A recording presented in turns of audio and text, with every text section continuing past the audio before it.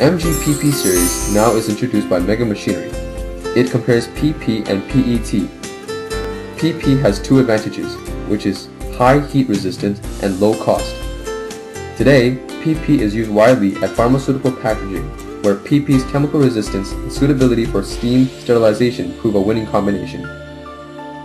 At Mega Machinery, after two years testing on PP, now the second generation of PP blow molding machine is presented. MGPP transfusion bottles fully automatic blower is intended especially for pharmaceutical packaging. Its key lies in the purity of blowing air. MGPP transfusion bottle's fully automatic blower overcomes and perfects this function. Its transmission parts are made of stainless steel. In the course of automatic conveyors sending preforms, static dust removing system is used to remove tiny dust particles in the preforms.